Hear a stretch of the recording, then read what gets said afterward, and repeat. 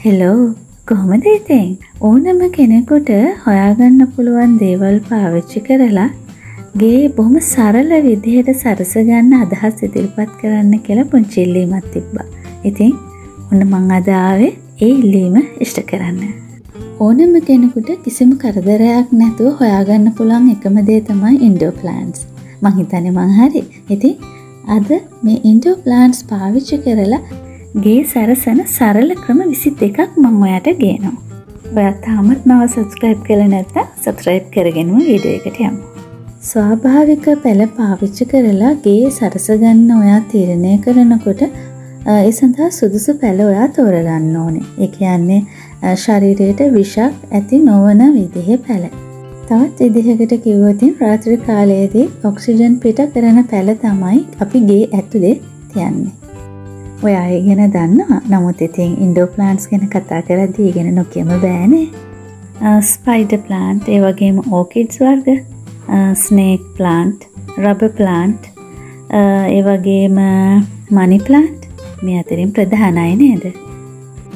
අනිත් එක බැම්බු ප්ලාන්ට් කෘතිම පැළවලට වඩා ස්වාභාවික පැළ ගේ ඇතුළ තියාගත්තාම ඒක අපේ ශරීර සෞඛ්‍යයට යහපත් විදිහට බලපාන විශේෂයෙන්ම අපේ මානසික සෞඛ්‍යයට. ඉන්ඩෝ ප්ලාන්ට් එකක් පාවිච්චි කරලා සරසන්න පුළුවන් ඔන්න එක තැනක් තමයි ඔයාගේ පොත්රාක්කය. බුක් එන්ඩ එකක් විදිහට ඔයාට ඉන්ඩෝ ප්ලාන්ට් එකක් පාවිච්චි කරන්න පුළුවන් මෙන්න මේ විදිහට.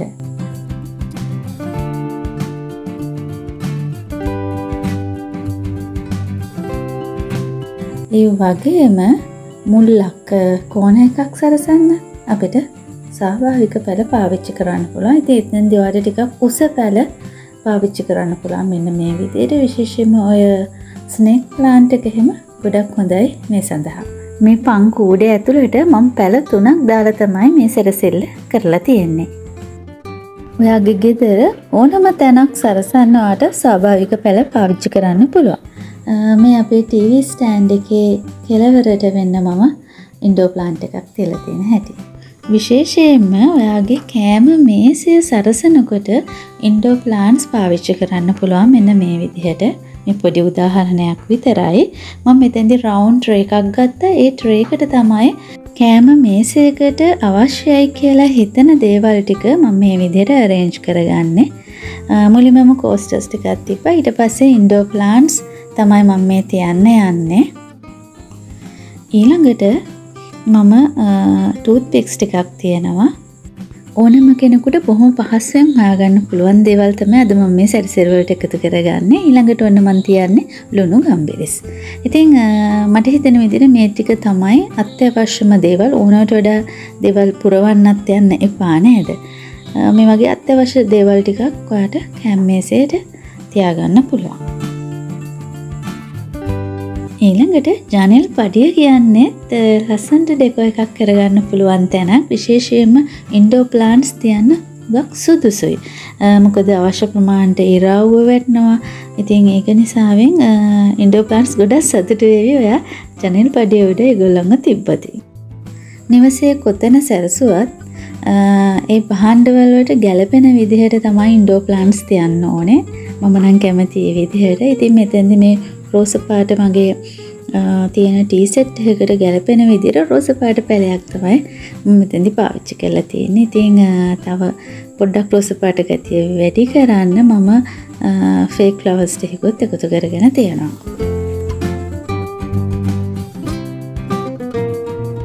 මෙතැන්දි කොළපාට එය ෆ්‍රයකට ගැලපෙන විදිහට පැලයක් තියලා තියෙනවා.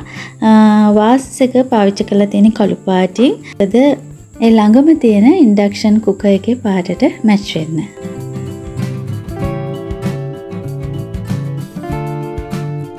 ඊළඟට ස්ටෝරේජ් බොක්සසුත් හුඟක් අය පාවිච්චි කරනවනේ.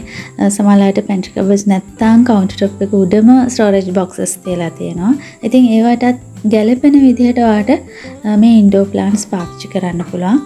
විශේෂෙන්ම ෆිනික්සල තියෙන මෙන්න මේ ස්ටෝරේෂ් බොක්ස එක හරිම ලස්සනයි ඒ පාට ඉතින් ඒක කොළපාටිංවා සරසන්න කැමති කෙනෙක් නංවාගේ කුස්සිය ඉතිං මේ වගේ ස්ටෝරේජ් බොක්ස එකක් හරිම ලස්සනයි ඇහැටත් හරිම ප්‍රියයි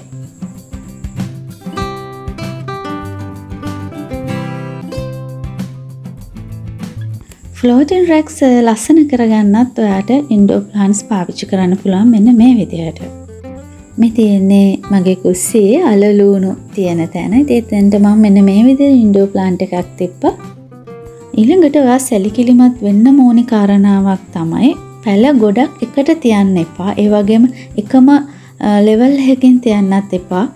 දැ මෙතන හෙම මම එකම මට්ටමකින් පැල තුනක් එකට හිරවෙන්න වගේ තියලා තියෙනවා. ඉතිං එතන ලස්සනක් නැහැ. ඩෙකෝවල තියෙන වැදගත් මූලධර්මයක් තමයි රූල් of 3 කියන එක මං අතින් මේක මීට කලනොත් කෙවිලා තියෙනවා. සැරසිලි පහන්ඩ කීපයක් එකට තියෙනකොට අනිවාර්යෙන් මේක ඔත්ති සංඛ්‍යාවක් වෙන්න ඕනි. තුනක් හෝ ඊට වැඩි ඔත්ති සංඛ්‍යාවක්. එතකොට තමයි අර ඒ පහන්ඩවල එකතුවක් හොඳ සම්පින්ඩනයක් පේන්නේ.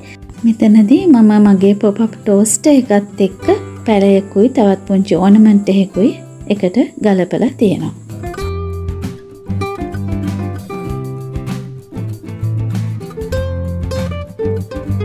ඩෙකෝවල තියෙන ඊළඟ වැදගත්ම මූලධර්මය තමයි විවිධ හැඩතල පාවිච්චි කරන්න ඕනි කියන එක. විවිධ උසයින් පලල ඒවා උස ඒවා අන්නේ විදිහට පාවිච්චි කරන්න ඕනි කියන එක එකම ලෙවල් එක එකම මට්ටම එක එකම හැඩතල පාවිච්චි කරෝතින් ඒක ලස්සනක් මතුවෙන නැහැ. ඊළඟ දේ තමයි අඩු වර්ණ සංඛ්‍යාවක් පාවිච්චි කිරීම. ඉතිං හිතන්න පුළුවන් ඉතින් ඉන්ඩෝ ප්ලාන්ස් පාවිච්චි කරනට ති ඔක්කොම කොළපාටනය මොකක්ද මේ කිවි කියලා. එක වෙනස් වෙන්නවා පාවිච්චි කරන වාසස් වලින්. ඔයා පාවිච්චයට ගන්න වාසස් සමහරේවා වල දැකල ඇති ඔය විවිධ මෝස්තර එහෙම තියෙනවා තියෙනවා. ඉතින් එහෙම ගත්තත් කමක් නෑ හැබැයි අර පාවිච්චි වෙන එක යුනිට් එකට යන අනිත් වාසස් වුණත් එකට ගැලපිලා යන්න ඕනේ.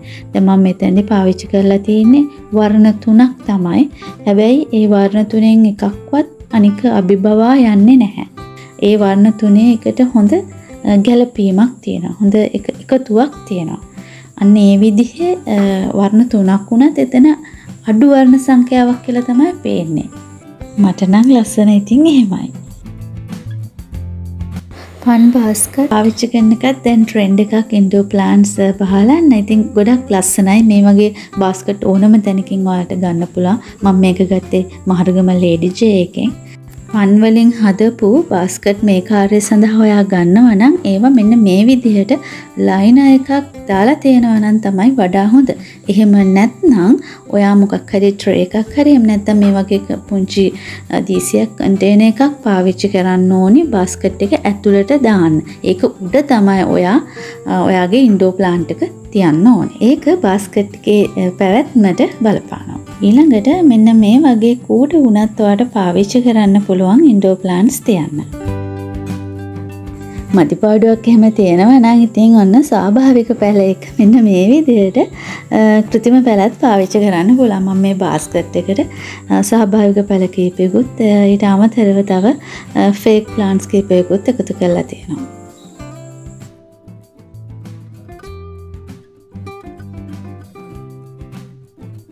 ඔන්න ඉතින් ඒ විදිහටම ඔයාට ස්වාභාවික පැල එක්ක කෘතිම මල් පාවිච්චි කරන්නත් පුළුවන් මෙන්න මේ වගේ.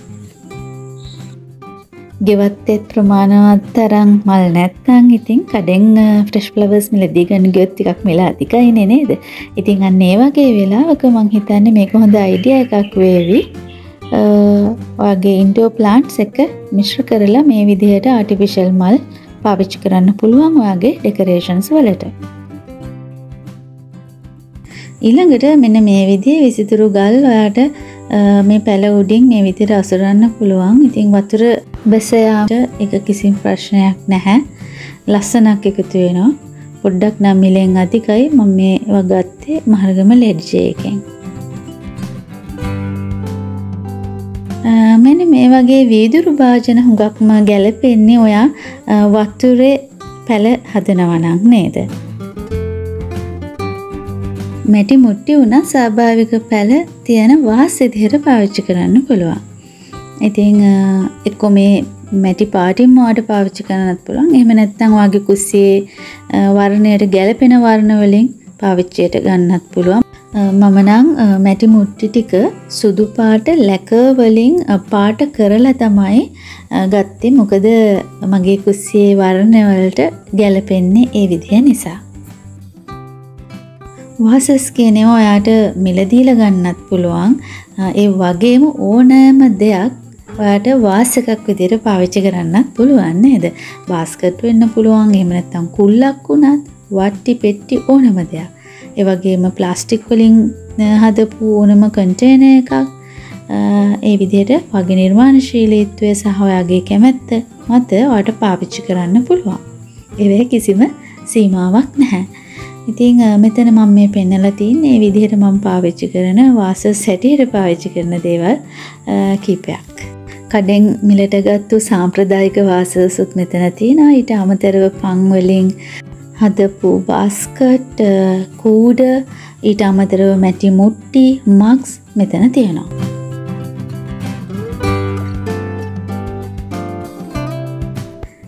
පැල කීපයක් එකට ඔයා තියෙනවනම් අනිවාර්යයෙන්ම පුළුවන් හැම විටකම මෙන්න මේ විදිහ ට්‍රේ එකක් පාවිච්චි කරන්න. එතකොට තමයි ලස්සනක් තියෙන එකතුවක් පේන්නේ. නැත්තම් අපිලිබල බවක් තමයි පේන්නේ. පැල කීපයක් මෙන්න මේ විදිහට එක බාස්කට් එක ඇතුළ දාලා වුණත් වට ලස්සන නිර්මාණයක් කරගන්න පුළුවන් මෙතන මම පැල තුනක් පාවිච්චි කරලා තියෙනවා. මේ වගේ නිර්මාණයක් වගේ කෑම මේසෙ මැද්දෙන් තියන්න හොඳටම ගැලපෙනවා.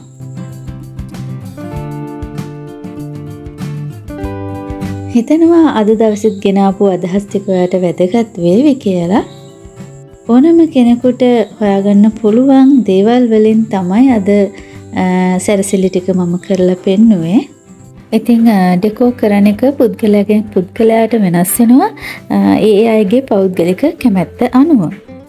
නමුත් අද මම මේ කිව්ව මූලධර්ම ටික පොදුවේ කාටත් බලංගොයි. ඉතින් අලුත් අවුරුද්දගේ ලස්සන නිසා තව තවත් ලස්සන කරගන්න මේ අදහස් ප්‍රයෝජනවත් වෙයි කියලා මම හිතනවා. වීඩියෝ එක හොඳයි කියලා හිතෙනවන ලයි කරන්න යාලු අතට ෂය කරගන්න එවගේම ඔගේ වටින අදහස් සුදාස්යල්ලම කමෙන්ට එකෙන් දක්වන්න. ඔයා තාමත් මාව සබස්ක්‍රයිබ් කල නැත්නම් සබස්ක්‍රයිබ් කරන්න ඒ වගේම බෙල් නොටිෆිකේෂන් බට්න කලික් කරලා ඕල් සෙලෙක් කරන්න අමතක් කරන්න එපා සේලුව වර්ගේ මගේ වීඩියෝ හස්ටික ළඟටම ගෙන්න්න ගන්න. ඉතින් එහෙන මංගේෙන් එන්න ඔයාට සුබදසක්!